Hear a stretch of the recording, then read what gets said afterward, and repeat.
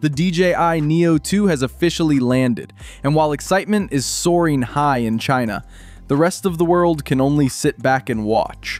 In its home market, the Neo 2 hit store shelves the moment it was announced, instantly sparking a wave of unboxing videos, flight tests, and stunning aerial footage flooding Chinese social media. The drone's sleek design and impressive upgrades are already winning praise, but for global fans, the situation is far less straightforward. Outside China, there are no listings, no pre-orders, and almost no mention from DJI's official international sites. It's a rollout unlike any other in DJI's history, unfolding one region at a time and leaving global audiences puzzled. Europe is the first to join the action, with an official release date set for November 13th. Distributors across Germany, France, and the UK are already preparing inventory, and DJI's European logistics network has begun labeling shipments with Neo 2 tags. Meanwhile, the United States finds itself in a more complicated situation. Trade and regulatory hurdles have delayed FCC certification, which means DJI currently cannot legally sell or even activate the Neo 2 in the US for now. Some enthusiasts may attempt to import the drone privately, but activation lockouts through the DJI Fly app could prevent those units from taking off at all. Despite the rocky global rollout, the Neo 2 itself is an impressive step forward. DJI has introduced a redesigned smart battery with better cold weather performance and slightly higher capacity. However, the new connector design means these batteries are incompatible with the original Neo, an unfortunate setback for loyal users with existing accessories. Still, the updated power system brings a small performance bump, extending flight time by about a minute and offering more stable energy output. DJI didn't stop there. The propellers have been widened with curved tips to reduce noise and improve stability during flight. The gimbal has also seen a significant leap, from a single-axis design to a two-axis system, offering smoother and steadier 4K 60 frames per second footage. Visual quality has improved noticeably, with sharper detail, richer color, and more natural exposure transitions that rival even the Mini 4 Pro. With a Chinese launch price of around $249 and an expected global range of $250 to $279, the DJI Neo 2 feels less like a minor refresh and more like a confident evolution. Once the global rollout clears its turbulence, the Neo 2 might just become DJI's most admired pocket drone yet. Let's compare the DJI Neo 2 with DJI Neo. Newly launched Neo 2 builds upon the charm and simplicity of the original DJI Neo, but with a serious leap in camera quality, flight performance, and safety intelligence. It's small, it's smart, and it's designed to make flying look effortless, even if you've never touched a drone before. But how much of an upgrade is it really?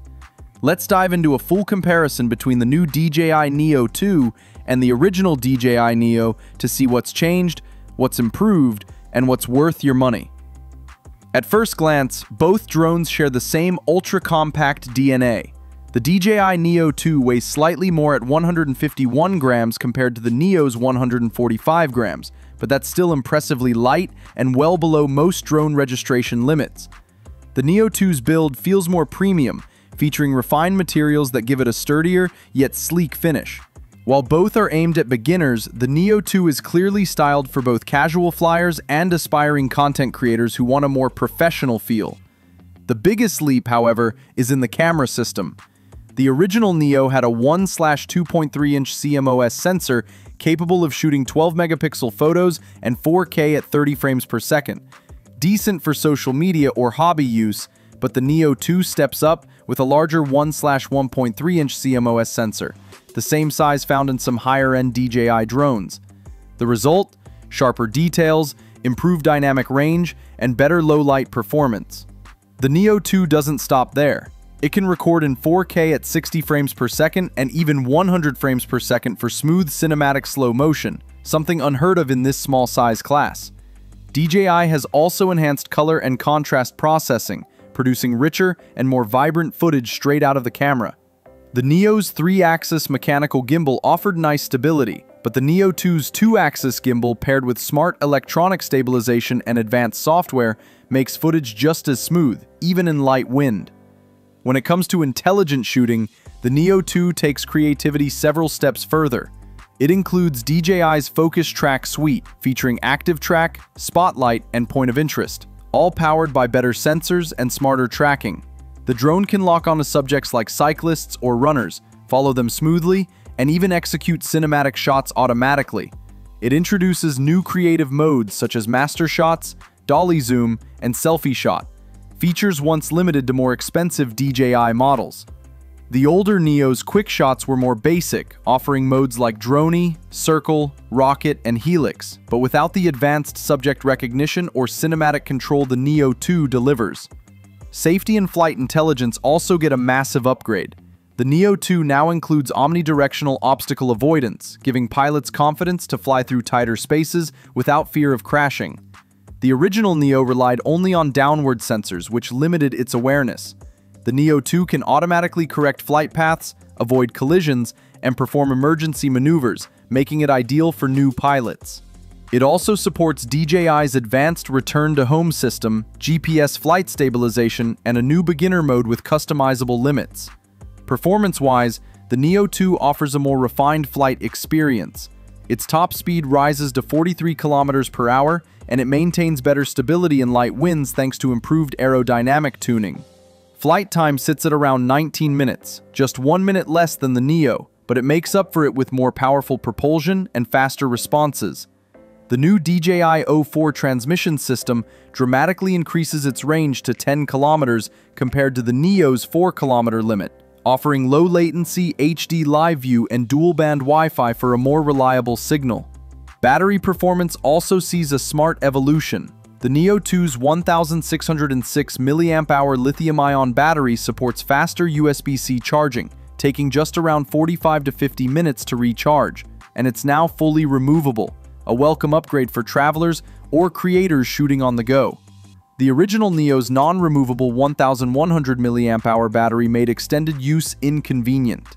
Connectivity and app integration have improved too, both drones use the DJI Fly app, but the Neo 2 offers a low-latency HD live feed and even packs 49 gigabytes of built-in storage, something the Neo completely lacked.